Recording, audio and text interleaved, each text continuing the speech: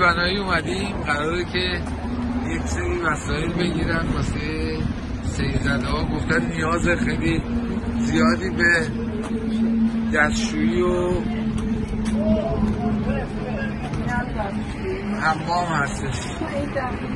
چند تا قرار شد بگیرن خانم؟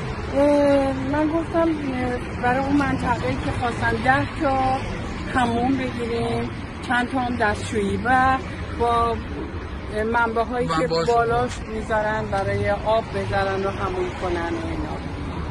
فکر می‌کنم که حالا باز حالا بریم بریم اگه جای دیگه هم آره نه جای دیگه مورد نیاز باشه بریم چیکار میشه. کرد باشه